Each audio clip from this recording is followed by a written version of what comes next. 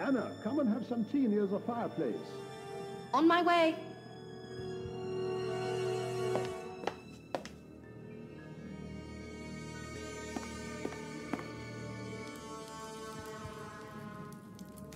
Where is everyone?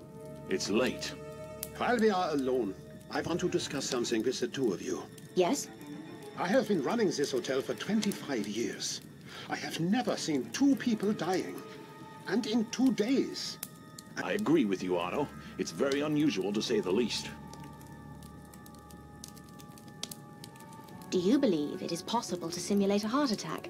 Ah, I believe it's quite possible, yes. And who would be able to do so? Someone with medical experience? Exactly. Now, two people were missing at dinner this evening. Ulla and Dr. Hartman. We found Ulla dead in her room. Did you find Dr. Hartmann? Yes, I did. And he acted odd. He asked me what happened to Ulla. And when I informed him of her heart attack, he murmured, that sounds correct. I think he is somehow involved in all of this. I agree. But what should we do? I have an idea. If Ulla's heart attack was brought on, then we will probably find something in her room to prove it. We should also examine her body. Let's go then, shall we?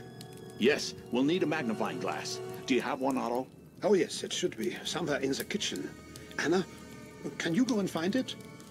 We will wait for you in Ulla's room.